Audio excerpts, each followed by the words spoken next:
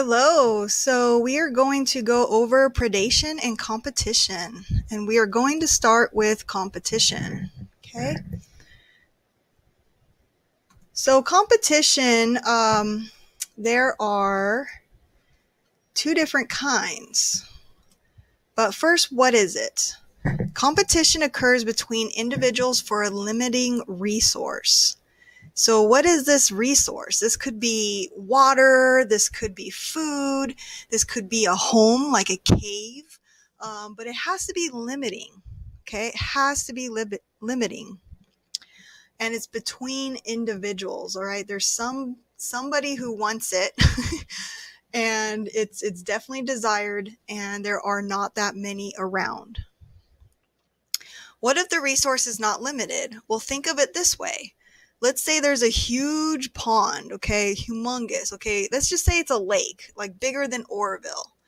And there are, you know, five individuals that are around Lake Oroville. Every other individual, this is like way back in time, okay? Let's just say that there's only five individuals living around Lake Oroville, and they're using that as their water source. When there's a lot of water, nobody's really going to fight over it because there's plenty of water. Everybody can use it. The space of where they use it might be limited. So, um, you know, they might spread out, um, but the resource is not necessarily limited with that many individuals. But let's say we get, you know, 10,000 people or even more or 100,000 people. Now there is not enough water to actually provide uh, people with water just using that lake. Okay, so now it's going to be limited. Um, you may need to increase the number to like a million, but uh, so yeah. So uh, the resource, if it's not limited, then you're not really going to fight over it. Okay, just think of those five individuals with the lake. It's there's no point in spending energy on fighting over it. Now, this resource is usually needed for survival and or reproduction. Okay, so this is why it's worth fighting for. Is it either gives you some way to survive, whether it be a home for protection, it could be an area to mate, um, which is uh, the reproductive part. Um, it could be um, food, which is uh, definitely for survival, or even for young, for offspring.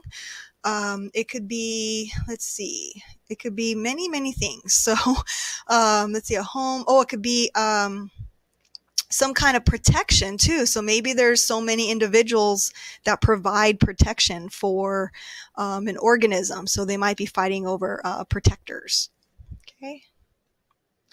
Now, there are two different kinds of competition. There is intra-specific, uh, competition. And this is when members of the same species compete. Okay, members of the same species compete. Now, I want you to focus on the word intraspecific. Okay, so um, you see this part here intra. That actually means within. Okay, and that would be within a species. So this is members of the same species competing. So this would be, for instance, two um, football player teams that are fighting for um, the win, which is, let's say, um, it's the Super Bowl. Um, they're fighting for the actual um, win for the Super Bowl. Only one team can win. So the limiting resource is the winning spot. There's only one. So all these teams compete for one spot. And they're all humans, so that would be members of the same species competing for that win. All right, there's interspecific. Okay, interspecific. That means between. Between species. So this is competition between members of different species competing. So this would be um, let's say two dogs uh, no no not two dogs that would be intraspecific. Let's say a dog and a cat right? A dog and a cat are fighting over um, some land okay? So my cat's very territorial um, my outdoor cat and it really likes to have the whole area to itself. So if a dog or a squirrel or anything comes around, he pretty much chases it away. So um, the limiting resource is actually space. Space is actually really interesting. Space is a big deal. Um, because communities and people even uh, fight over for space. Okay, there's only so much good space out there. For instance, flat land, um, places near water or food. There's really good spaces out there, and space is actually not really thought about to compete over, but it's one of the main things out there that that is uh, competed over. So um, my cat is actually competing for its space, which is basically its territory. Okay. Now let's look at a few examples here. So we have interspecific competition between, so this little thing right here means between two barnacle species. So um, if you notice here, we have uh, Balanus. Okay, this is one of the, this is the genus of this type of barnacle. Okay, and they tend to be larger. All right, and then we have uh, Chthamalus. Okay, now this one is uh, the smaller one and it tends to be at the top. And this um, larger one is um, at the at the bottom. So they're they're actually, um, if you want to think about this, what do you think is actually limited here? So this is an area of competition, and what they eat is basically um, little al- algae that's in the water. Okay, they kind of like filter. Um, so they eat things like that. So basically, they just need water to move around. And during high tide, um, we have these species here getting, um, you know, a lot of the water and, and being splashed upon. During low tide, then these guys are getting a lot of the, um, you know, um, water and getting splashed upon. So basically, um, there is a really good area. It's kind of like in between zone which is this area. And you can see here that they're kind of in their own area, but then in this middle region, this is the area of competition because they're basically clashing in their populations or running into each other. And this is where they compete for. If you um, want to think about what what do you think is actually limited here? So try to think about what's really limited. Is it food? Is it the water? Well, it's really space. There's only so much area on this rock. Okay, there's only so much to live, um, and they need to be on that rock. It's they they adhere to it in order to catch their food on the water. So really, there's there's a lot of algae in the water at this point. Okay, um, but really, what they're competing for is a space to live. So um, this is the area of competition where they actually are clashing uh, to um, to get that space. Now there is a video I want to show you. Um, it's kind of like um, there's three different species. Okay. Now remember we're covering interspecific. Okay. We have species one here, species two there. So we're looking at interspecific. All right. So this is between species. So we have three species for this video that you're to see. All right. So let me um, actually get rid of all these so you can actually watch the video without any writing. So we have the leopard, the hyena, and the lion. Okay, so think about what I want you to do is think about who do you think is actually going to come out with their um, they're going to be competing over a food item so i'm going to tell you what they're competing over but guess right now who is going to be the one that actually gets the food so go ahead leopard hyena or lion now again, you're gonna. It's really just to kind of make this a little more fun um, to to see what what you think is gonna happen. Okay, so leopard, hyena, or lion. More than any big cat, leopards spend most of their time in trees. It's here that they eat, sleep, even mate. This leopard is in a tree in the Mala Mala Game Reserve in Kruger National Park, South Africa. The reason leopards spend so much time in trees is because other cats, like lions, kill leopards, and because hyenas and wild dogs love to steal their kills. This forces leopards to master the art of the arboreal scramble, never failing to know exactly which branch will support its weight. Yeah, oops. Well, almost never failing.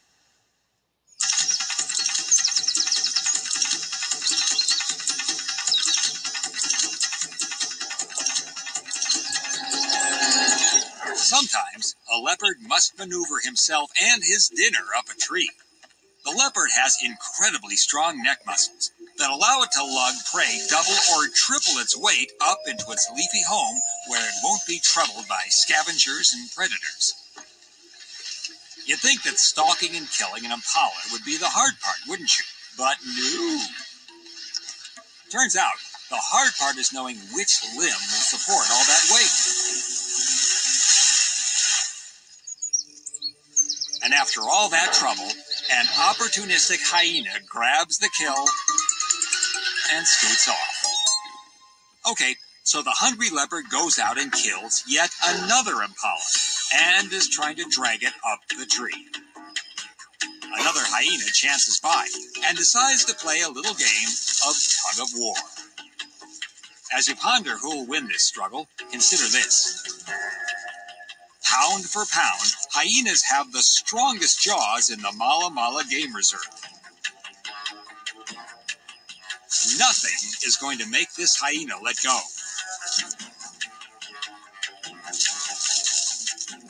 Well, uh, except maybe this, a, uh, a lioness. The hyena takes off, and the leopard immediately bounds upward with its kill. But the lioness decides that she has eyes for the prize and also bounds up the tree. Survival here can be a subtle game.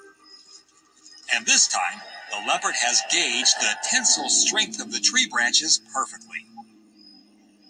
Even though the lioness is inches from a juicy meal, she knows that she's too heavy to climb any higher.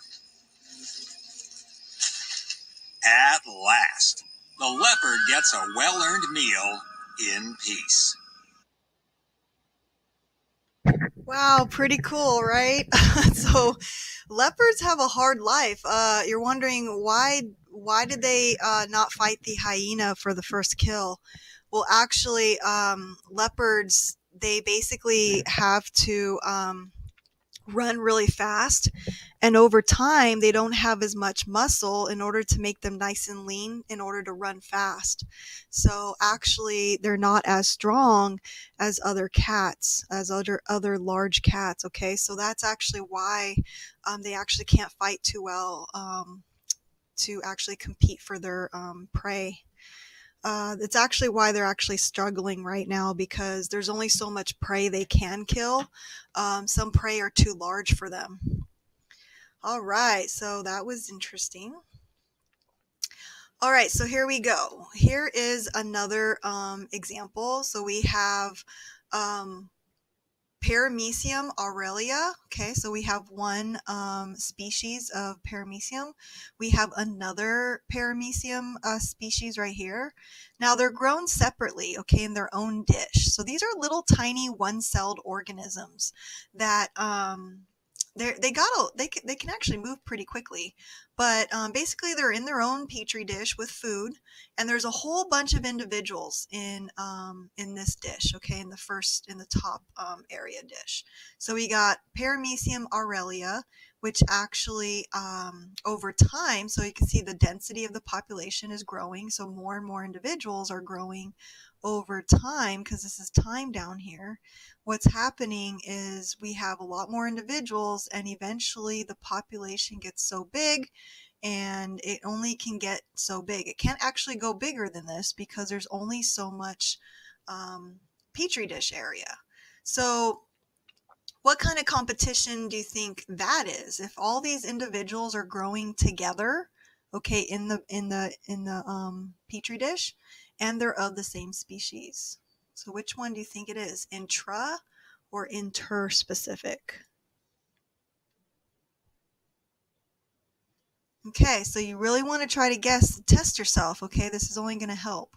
Um, your, since they're all individuals, of the same species, then it's intra-specific competition, okay, within species.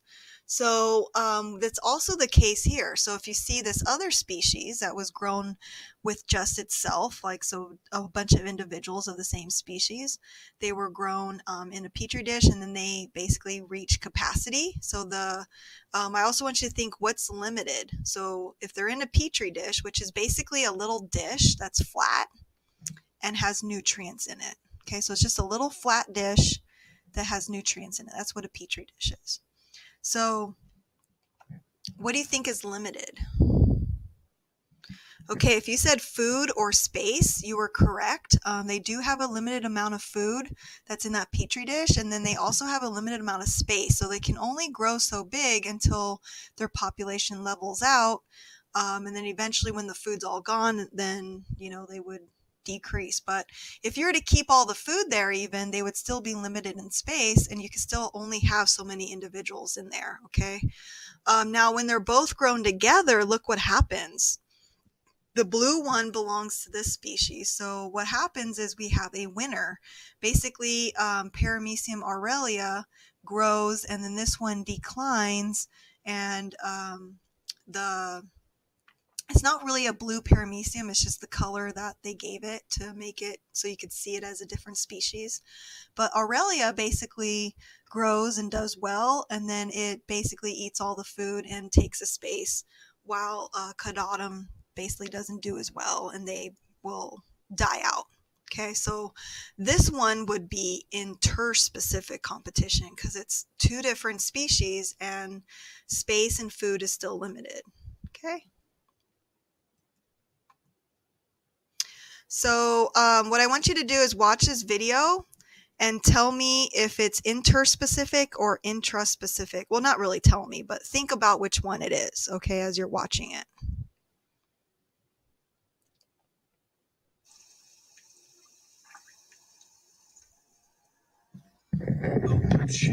Are highly prized. And this one is occupied by a sarcastic fringe head.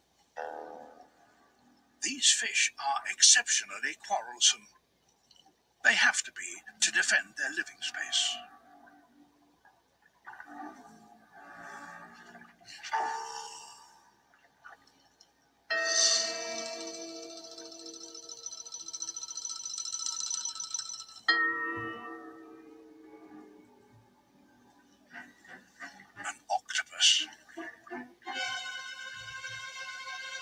Inadvertently, it's wandered into the fringe head's territory, and that can't be tolerated.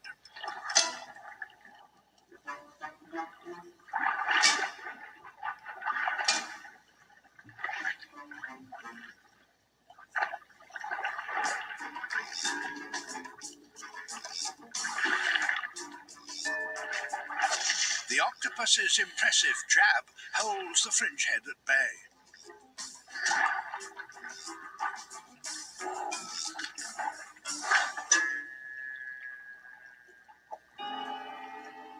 More to this behavior than being bad-tempered. The fringe head needs to defend its patch if it is to get enough to eat, and the octopus was competition.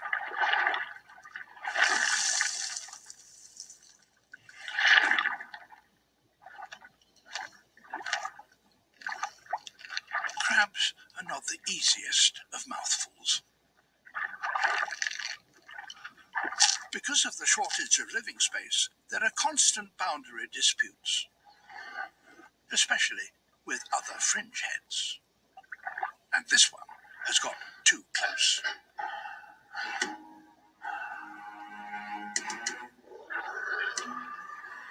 Despite the most extravagant threats, neither is prepared to back down.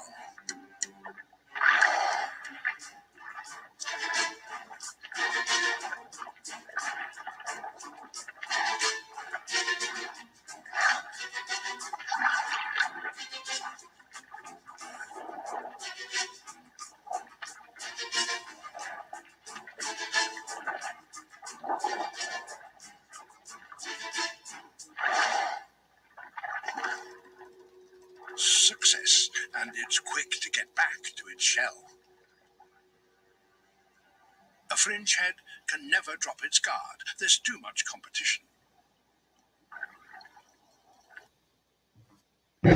All right, pretty cool. So, um, hopefully, you recognized um, two different kinds of competition in there. Okay, um, so we had interspecific and intraspecific. Okay, so if that's what um, you thought, then that's good. Okay, um, so interspecific was between the octopus and the fringe head. Intraspecific since it's between species um, or within species intras within um, that means that it's between the two individuals of fringe heads that were fighting okay? What was really cool about this video is you also got to see predation which is our next topic okay. So here's another uh, fun video that i think you would like uh, so what i want you to think about is there is a big beetle and there is a scorpion and they're actually going to battle okay? Um so what are they going to battle they're actually thrown together um, this is not done in the united states this is illegal um, so um, but they do this in other countries okay um, they actually put these two uh, organisms together and basically make them fight. Okay, so the big beetle basically has these huge horns on the top of its head. It's humongous beetle. Okay, it's not a little beetle. And the scorpion has a tail with venom. So, um, what I want you to do is think about which one um, would win. Okay, so go ahead and pick um, a contender. And if you were to place a bet, who would you bet on? Okay.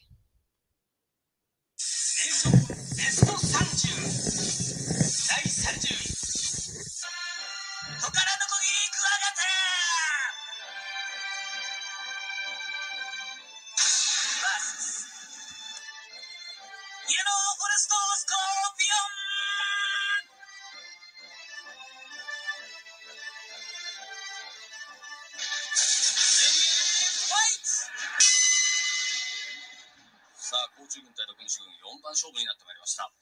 こちら、えー、右側がトカラノコギリクワガタ65ミリですね。早くも絡み合ってますが、こちら毒虫群イエローフォレストスコーピオン、恐怖のイエローポイズンです。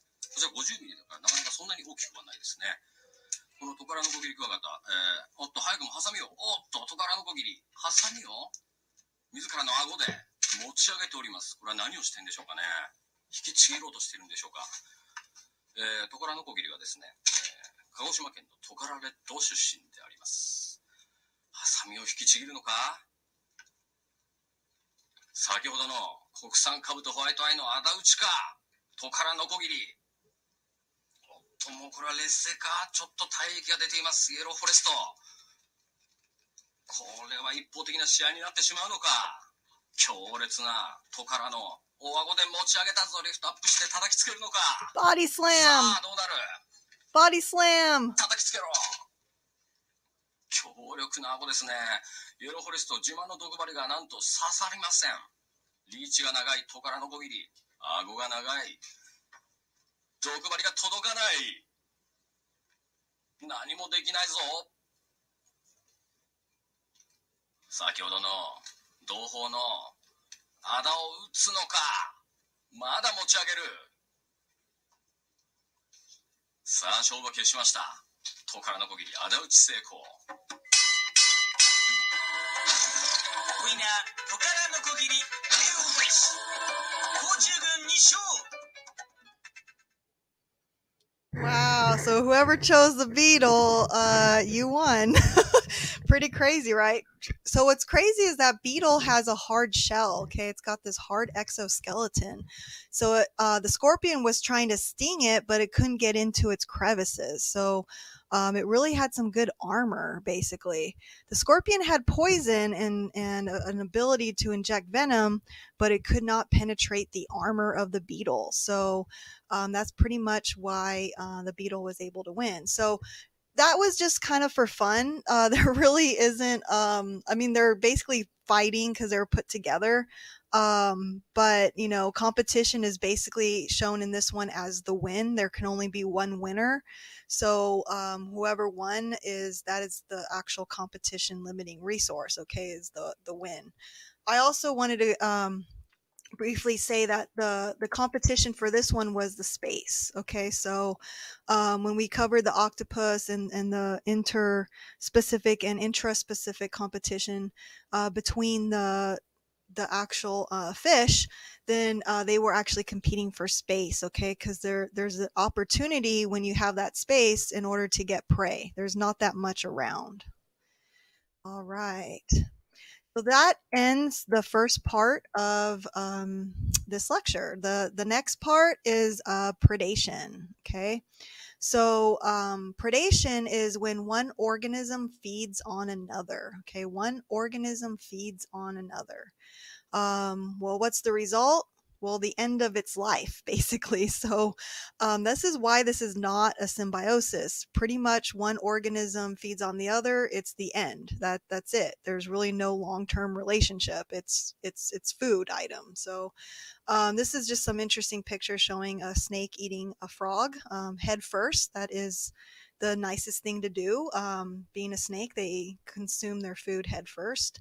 Um, and then they also um, this is also showing a, a, hawk with a squirrel head. That's that's pretty crazy. So that death is is pretty fast. So in the animal world, they tend to kill pretty quickly. Um, there are some times where um, the death is is slower, but a lot of the times uh, the kill is quick, so that there's not a lot of energy being spent. Okay. Um, so there's three different kinds of predators you should know about. Okay, there's the lie in wait predator. This these are basically um, predators that wait for a predator uh, for a prey item to approach and then they attack. So it's kind of like they're hidden and then they wait to attack okay? So uh, these are assassin beetles okay? They are in the family reduviidae um, you don't have to know what family they're in. I just i'm an insect person so i like to um, include that um, but anyways, um, they're also known as the kissing bug because they, in some regions, they transmit Chagas disease, um, and they tend to bite around lips, okay, around the mouth. Um, but anyways, what they like to eat is basically some bees. So the bee comes around, um, and basically what they do is they attack it, um, paralyze it, and then they basically inject this needle-like uh, mouth part um, into the bee and basically uh, suck it up like a soft drink. Okay, so it sucks up the fluids. Um, you're kind of seeing a team effort here for this bee um, being eaten by these two um, assassin bugs. So these are lie in wait predators. Okay, they wait for the bee to f- come flying by and then they basically attack the bee. They come out from their hiding spot and attack the bee. Okay, um, there are other ones out there. So let's look at some more examples here. Um, we have the sidewinding snake. Okay. The sidewinding snake, you can find that in areas where there's a lot of sand. Okay. So there's areas like in Southern California where there's sand dunes. Uh, so uh, the sidewinder snake like to actually go up the sand and they do it in an S format. So when they move up the sand, they kind of wiggle their body in like this weird lateral or sideways movement in order to get up the sand. And you're going to see this in the video. Okay, so here is the sidewinding snake. Oh, is it not going to show it? Oh, I didn't have the link in here. Okay, it's okay. Um, but I could just tell you the story. So I think the link is going to show up. I just maybe I have to click on this. Huh. Oh, okay. So um, I'm just gonna show you. I guess the the video it was kind of long, so I'm just gonna um, just kind of tell you how it goes. Okay. So basically, here are sand dunes. What I was talking about. This is how they actually angle themselves up. So they they sidewind up the sand dune. So that's actually how they go up the sand mountain. Okay. And you can actually see these like kind of like S like structures or you know um, impressions in the sand. Then what they do is they burrow themselves down into the sand, and here's its eyes. Look at that. Look how good it is. Look at the sand and the color of the snake. Super camouflage. Look at that. Um, there's some more eyes there. So basically, they they wait for um, oops, they wait for a prey item to come by, such as like a beetle or actually most likely a lizard to come skimpering by and they pop out and they attack it and they um, kill it and eat it. Okay, so they're basically hiding right here, waiting. So that's why they're called lie-in wait predators. They're waiting for um, their prey item to come by, fly by, or however they come by, and then they jump out and attack. Okay. The other one, uh, type of predator, um, or the second one of the three that we're going to cover, is the pursue and attack predators. So this would be like your cheetah and gazelle. Um, so the cheetah goes out and it basically um, catches a gazelle, and it does that through speed. It basically runs right after it, and um, it's pursuing it by chasing it, basically and then it attacks its neck and kills it pretty quickly. Okay, so they're basically the hunters. They're going out and they're chasing and they're killing, and that's why they're called pursue and attack. Um, let me see. Okay, this is a video. This one's really cool. This is of a centipede versus a bat. Okay, so a centipede does have venom. A bat does not, but it is a um, it is a flying creature. Okay, so it does fly around. So go ahead and pick which one do you think is going to die? Because we are in predation right now, so there is killing. Um, so go ahead and pick which one you would put your money on. Okay. This is one of these alarming giants. They were 13 inches, 35 centimeters long, and with the muscular strength of a small snake. And the poison in its black tipped fangs is lethal. It hunts in the dark, bat haunted caves of Venezuela.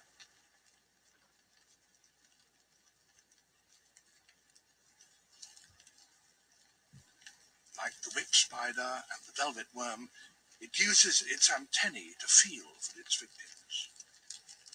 The beetles that swarm on the rocky floor of the cave are of no interest to it. It's after bigger prey.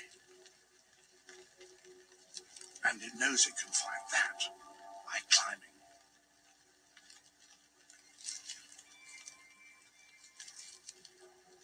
Its many legs give it a secure hold on the vertical rocks.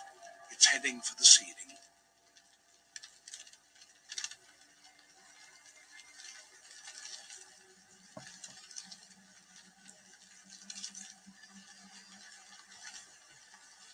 Now in the darkness, it can sense bats flying past it.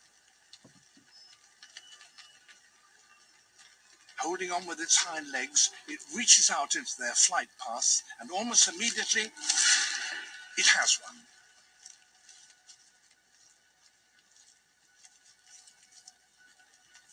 An injection of venom from its fangs kills the bat almost instantaneously. It will take it an hour or so, but it will eat all the bat's flesh.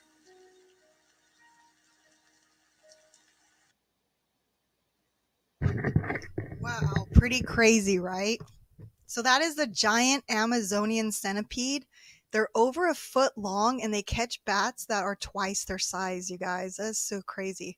So think about this. It's kind of like your um just to show you here, we have how long these uh, guys actually are. So um, basically half your arm up to um, the majority of your forearm. So it's pretty crazy how how big they are. And this is it um, being showed with they have 42 legs, but use 10 of those to hold on to the light lacking caves ceiling. So this is in complete darkness, you guys, that they do all this.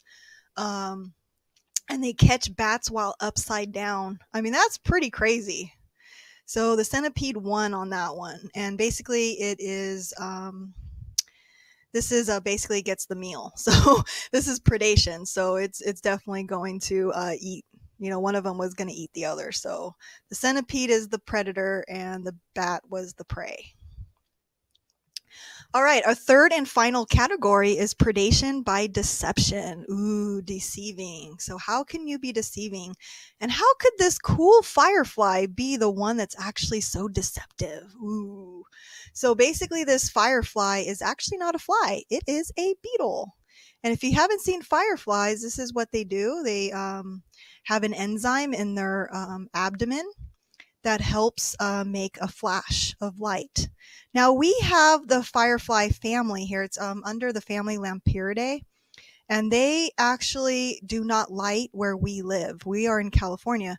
We do have a glowworm up here, but uh, the firefly itself, we just have the regular ones that do not actually glow. Okay, so here it is in the picture down here. That's actually a beetle, okay, and it's actually using an enzyme to light up its abdomen. So we have these guys, they just don't light up, okay? Um, but usually in the um, mid America, this is where you would find fireflies. Um, people tend to catch them and keep them in jars and then they starve to death. But um, I don't know. I don't think they're feeding them. So fireflies have species specific flash codes. What that means is that every species actually flashes it like um, a code, like it'll flash it one, two, three, and then move on. So, for instance, number one, flash, flash, flash. Then it flies up, goes down, flash, flash, flash, flies up, goes down, flash, flash, flash. That is its um, basically its code. It's kind of like a Morse code, but it's in flashing code. And every species, so all of these is showing a different species on how they light up um, over their flight pattern. Okay, some of them do crazy blinkings like 1, 2, 3, 4, 5, 6, 7, 8, 9, 10, and then flies 1, 2, 3, 4, 5, 6, 7, 8, 9, 10, right? So it's like pretty crazy. And they also have sex specific flash codes. What that means is males will have their own sex, um, their own flash code, and uh, females will have their own flash code. And this is used for detecting mates, okay? So um, they use this flash code to be like, hey, baby, I'm over here. Let's make some offspring. Um, so uh, this is just showing you all the area of the firefly, okay? But again, it is a beetle. So how could something be so deceptive? Okay. Um, oops. So what's happening is basically um, a firefly is a predator. Okay. So these are actually predators, believe it or not. Now, what one can do is let's say it's hungry. It doesn't want to mate. It actually wants to eat another firefly. So what it will do is it'll actually um, signal for a specific species. So some fireflies can actually have three different flash codes. Um, they can flash for a different species, and when it comes over, instead of mating, right, the male will be like, "Ooh, I'm going to come over and and you know mate," um, and then it'll actually instead of mating, it'll eat it. So it's kind of like, "Oh, you know, you want to mate, but I want to eat you." so um, it's kind of crazy um, going through this, um, having all these different flash codes and and hopefully you know they mate but sometimes they are led to their doom so pretty nuts um, so that is predation by deception because that is deceiving very very deceiving um, then there's uh, just to kind of give you an idea of herbivory versus predation. So, can herbivory, so this is basically eating of plants, okay, be considered a form of predation? So, is it that or is it parasitism? Well, if the organism is eating some of the plant, it's actually parasitism. If the organism actually eats the whole plant, it basically predated upon the whole plant. It ate it, took its whole life. Um, then it would be considered predation okay now it could be parasitism that that leads into predation where it eats it so much to the point over time that eventually um, it dies so it could be parasitism at first and then predation after so just to kind of give you an idea um, that is herbivory that's basically eating of plants okay um, organisms eating plants that's herbivory all right and i think that uh, concludes the lecture so pretty cool. Um, so it was great um, seeing you guys. Um, I am glad that, well, I, I, haven't shown my face in this one, but um, I'm glad that you were able to watch this. And I hope you guys have a great week. I will see you in the next video.